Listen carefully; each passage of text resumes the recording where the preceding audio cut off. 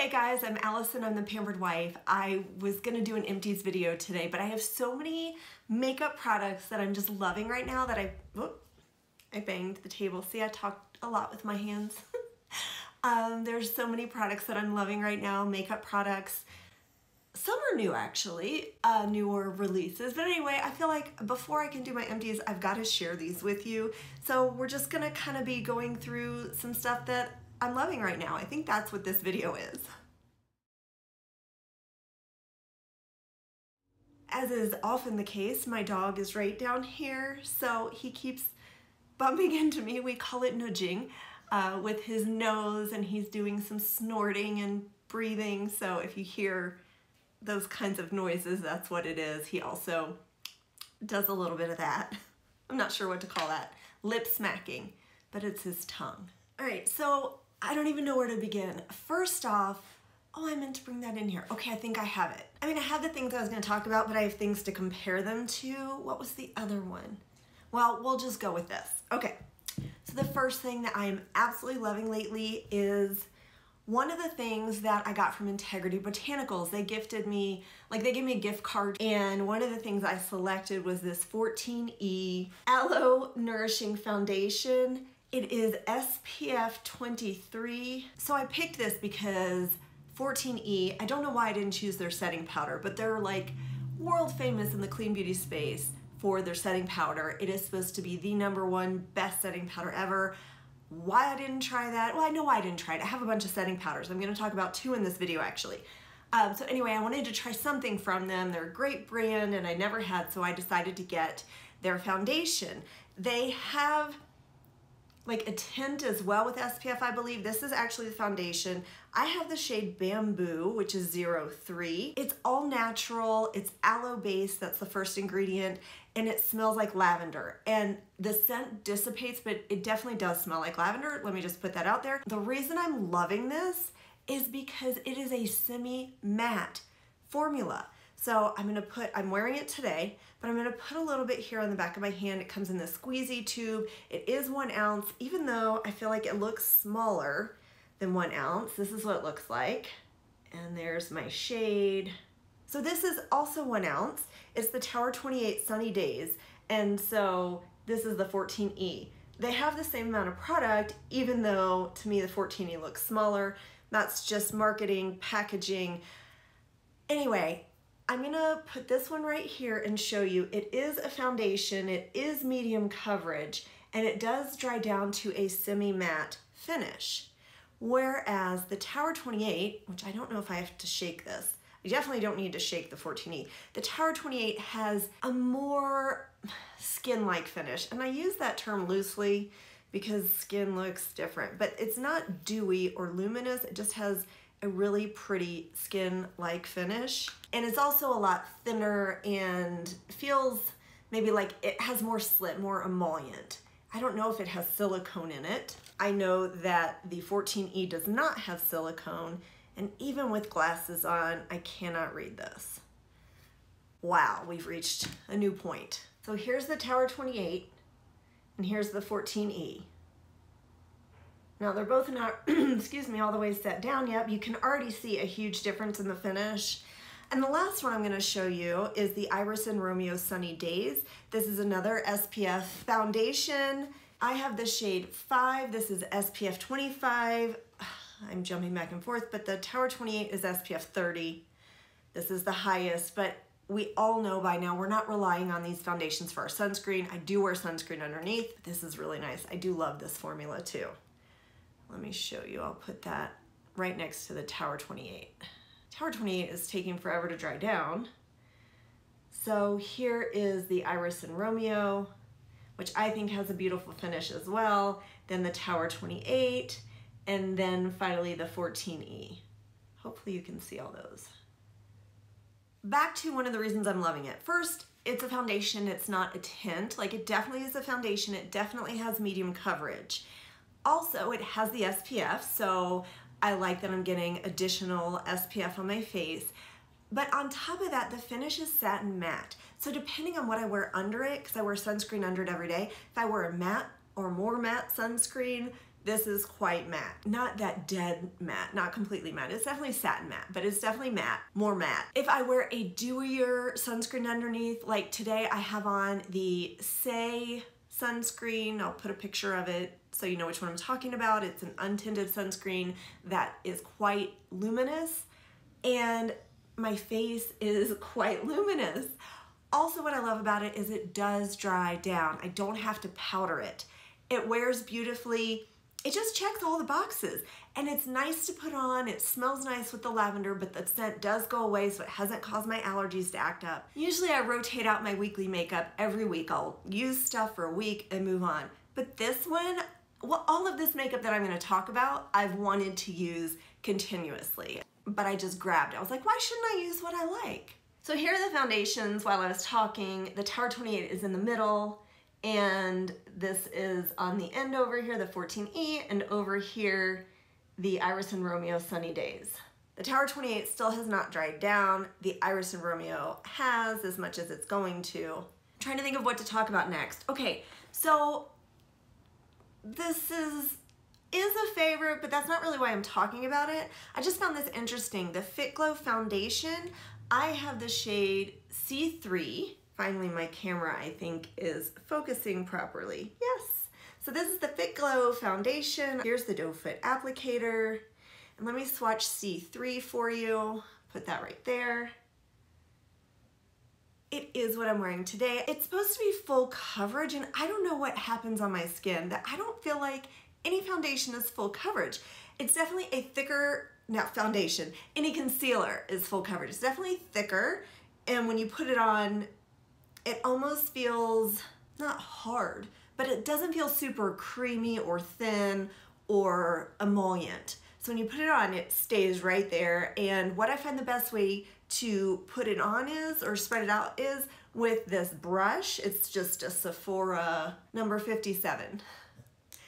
And I like to tap the concealer in because if I use my fingers, I can, you know, tap it and lift up the product and it creates texture.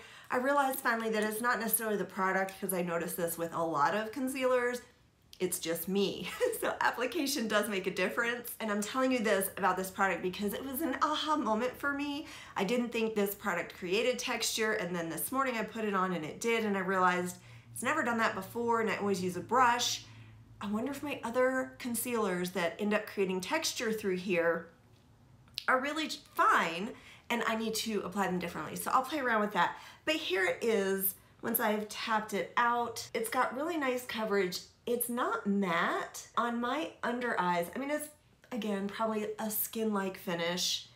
Um, it's definitely shinier than my hand, if that makes sense. Like I don't have it over here, and I do have it over here, and it's more luminous.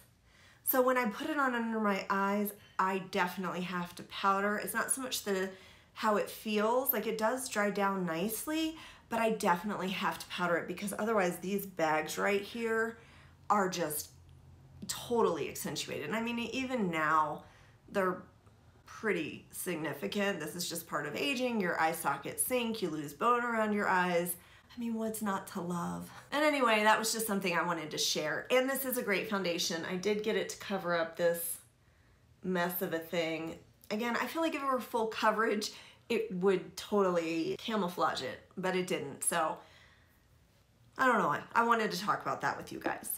Okay, something else I'm loving is the Fitglow Instantly Blurring Bamboo Hyaluronic Loose Setting Powder. This is a newer release. It is a locking sifting system.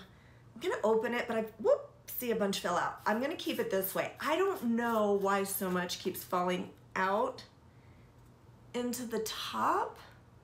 There's always a ton in there and I keep it locked. I don't know if it's coming out the sides into the top or what's going on. If just the first time I used it, a whole bunch came out and I'm still working through it. I mean, that's possible, I guess. It is super, super fine. And I do know that the first time I used it, I opened the lock and it's got, you know, holes for some of the product to come through. It is so finely ground or milled. It's just like dust and a whole bunch of it came out. into the top. This stuff, I have it on under my eyes. I have it actually all through here and here and here. It blurs and really takes away the shine without making your skin look dead. Maybe I should put a little right here. Yeah. Okay, I don't have a mirror, so I gotta look in the monitor thing. All right. See that compared to that? I'm not, I, I think the first couple times I used it, maybe I used too much and I did get some white ghosting or whatever you'd say, but it did look a little pale on my skin. I'm not getting that now. I'm using less product. You don't need hardly any.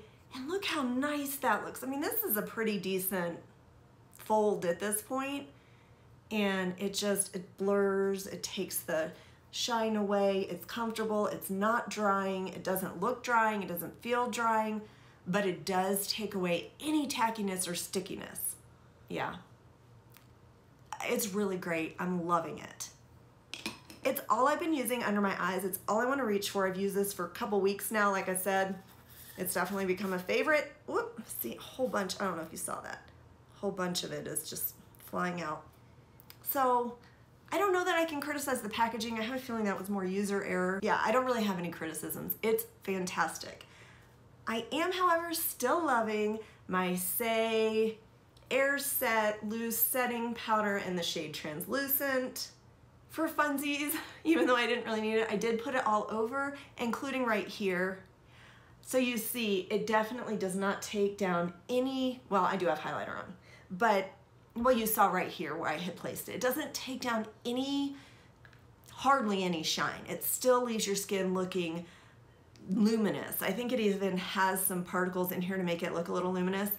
It also does some airbrushing, not as much as the Fitglow. The Fitglow, the airbrushing is amazing. I'm hoping they come out with some more shades just because I do like a tinted version of a powder, but I'm still absolutely loving the Saie to put in places on my face where if I'm using a different foundation or maybe some products that do stay tacky or, you know, don't dry down all the way, that I can use this and have it not take away any of my luminosity or dewiness. It still just looks so pretty, I think.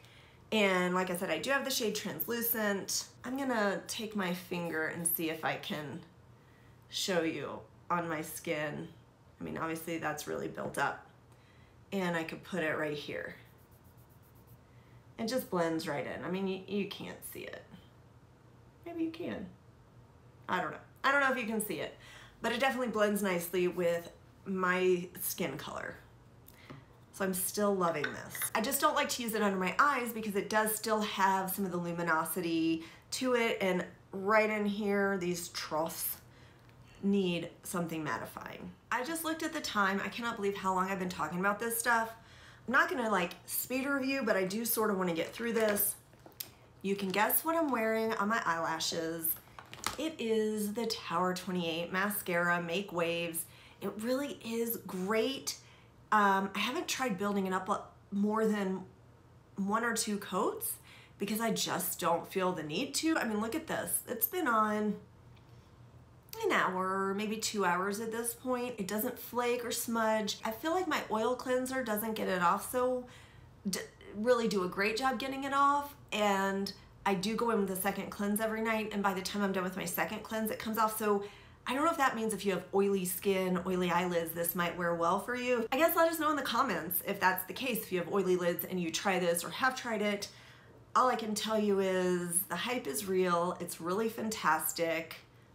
I mean, has it changed my life? I wouldn't say it's changed my life, but it has made me happy. All right, on my lips, all I have is the Tower 28 multi-liner. I have the shade work of art and it's really like just I think it's a taupe is what I would call it. Let me draw it on there. You tell me what you think. It, it looks more of a pinkish brown here but on my lips I feel like it looks more taupe. Maybe it's mixing with the pink of my lips. I do have this um, on my cheeks. It's not the best on my cheeks. I like to rub it into my finger and then kind of dot and spread around. All I did was line my lips with this. I didn't even have any kind of moisture on my lips. I just lined my lips and then colored in some and went like that and the color was there. It was almost that dead brown, like a vampy brown on me. I just, I love it. I'm loving it, especially with this look. And I did go on top with some lip gloss, any clear lip gloss. I happened to keep reaching for the Minori lip gloss. It's just a great hydrating non, well, actually it is a little sticky. But I really like it, it's comfortable to me. Um, anyway, that's what I have on my lips. I absolutely love it. I actually thought, looking at my lips, that maybe it was similar to if I put a contour shade on my lips. It's not, it's much warmer. But that's the feeling I got when I first put it on. So it's just a great shade with lots of different colors, but that just happens to be what I'm wearing today, and I do love it. And even before I put on the lip gloss, it was comfortable. Like, I couldn't believe how creamy it was. I am loving this eye look love, love, loving it. So I'm loving what is on my eyes, just the shade of it. I've been totally into this. So another thing that I got picked out from Botanic, Integrity Botanica, mm, Integrity Botanicals. See, I can say that. I picked out, well, this Z palette, which is just a magnetic thing to hold your loose eyeshadows, but I actually took some eyeshadows out of other palettes um, these are my Fitglow that I took out of the Fitglow palette. Anyway, this is a Sappho eyeshadow that I picked. Gosh, I hope the name is on here. I believe it's Chloe. I am loving it, okay? It's more nuanced than it looks. It looks like a taupey brown, but then in different lighting, it's a grayish purple, and it is a drier powder. Let me just put that out there. If you have oily lids, you may love this. It is definitely not buttery or creamy. I don't know that you love it if you have oily lids, but I'm just saying it's, it's a dry powder. It is so pretty. So here it is right here on my finger. And you can see how it's sort of brown, but sort of purple, but sort of gray. Hopefully you can see some of the nuance. And then the other one that I feel like Chloe is just the matte powder version of this, which is still a sample that I'm working off of from Rituel de Fille. This is, I can't even believe I'm having to look at the name when I've loved this for so long. Cultist. This is so gorgeous. It's just the shimmery version of that. But I'm gonna go ahead on another finger and put that on. That's on this finger. So see, they're almost twinsies. One is the matte version and one is the shimmery version.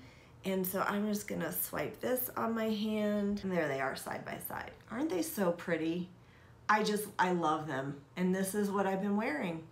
I've been reaching for one or both. Some days I do the Sappho eyeshadow all over my eyes and it can sheer out or you can build it up and same with the Rituel de Fille. Uh, typically if I wear the Sappho, then I go in with a highlighter and dot a little bit and it gives, since I use such emollient highlighters, which we'll talk about in a second, it almost as the day goes on like makes my whole eye look like that greasy, shiny, wet look that I absolutely love. Anyway, I'm loving these two eyeshadows. Loving them. I can't get enough of the colors and the complexity of the colors and just, I'm just loving them. I feel like now that we're into fall, it's time to head into cooler colors, but these have enough depth that they're like warm and cool. I don't know. All right, I'll do brows real quick. I'm loving the Clove and Hallow Brow Gel. This is called Boost a Brow, and I have a shade. Is it chestnut? Is this the one that's chestnut? I'm sorry, I absolutely can't see it. I'll figure it out and put it on the screen. Anyway, I'm wearing it today. Finally, a product that adds tint without getting so messy and gloopy and just making such a mess of my brows and it holds them in place. I love this. Now I will admit sometimes I go in with a spoolie afterwards and just shape a little bit I really like a one and done product. I really, I say this every time, gotta go back and try the Beautycounter Brow Gel and see what I think of that because I used to love it. But this is a shorter little brush, so cute, lots of space between the bristles. It doesn't have a ton of product. It's not like I've pulled out a wet paintbrush, which I feel like so many of my brow products are right now. This is a favorite. And then finally, I've only been reaching for two highlighters. And when I look at my highlighters, I can't exactly decide why that is because I love a lot of them.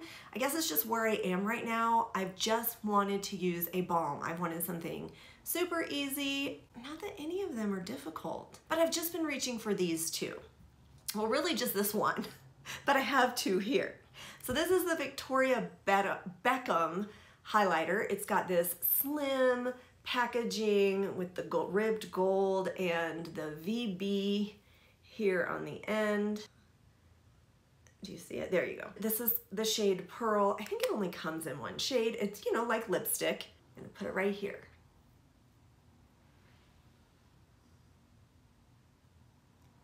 I actually have that on this side of the face. It's really pretty. It didn't do great on top of the powder. Like I can see kind of exactly where it starts. See that? Like it, there's sort of a hard start. I think you can see that. What I do is I just rub my finger along it and dab it on. So that's something to take note of because I've been really trying to differentiate it from the Westman Atelier with its beautiful heavy packaging. A lot bigger and bulkier. I have the shade Nectar, so obviously the shade is different. Did I show you this one? So you can see them side by side. Whereas this one is definitely a peachy pink, and I will put it right here next to the Victoria Beckham, or the, yeah, Victoria Beckham Beauty. So the difference I've found is this one is definitely more balmy, although they are both balms. And this one just feels a little balmier, like wetter maybe. The Westman Atelier for a bit anyway. They both do eventually dry down. I almost feel like the Westman Atelier one maybe looks a little more wet, whereas the Victoria Beckham maybe looks a little more lit up. Don't know if that makes sense, but they both wear about the same amount of time. They both wear beautifully. The Westman Atelier I think does play better with powders. Like I had no problem putting this one on. It's this side. They both wear about the same. They have the teeniest, tiniest little shimmer particles in them. When they wear off, you can see dusting of the shimmers. But otherwise, I think they're pretty much almost dupes for each other. Although you can see what I mean, the Victoria Beckham is definitely getting more light than the Westman Atelier. That's my take on them. I've been wanting to compare the two of them for a while. I've been applying them differently, wearing them on each arm to see which lasts longer, all this stuff. And I finally came down to they're pretty much dupes for each other. The Westman Atelier looks a little more wet. The Victoria Beckham looks a little more lit up and they both are balmy. The Westman Atelier is a bit more balmy. Um, they're both comfortable, they both dry down, and there's obviously a shade difference, although the Westman Atelier does come in multiple shades. That's it. I think I've gone through all my favorites. I can now look forward to filming an empties video later because I just had to talk about this. I mean, let me know what you think of this face of makeup. Like, I love it it's I just think it's so pretty and it's wonderful heading into fall. I totally can and do change the lip up, especially a berry looks really pretty with these eyeshadow colors and I kept the cheek neutral. Let me know if you've tried any of the stuff that I'm talking about, have talked about, if you will try or curious about any of it. I'd love to hear from you as always. If you enjoyed this video at any point, please give it a thumbs up. I'd love to have you subscribe and as always, I hope you find some time to pamper yourself today.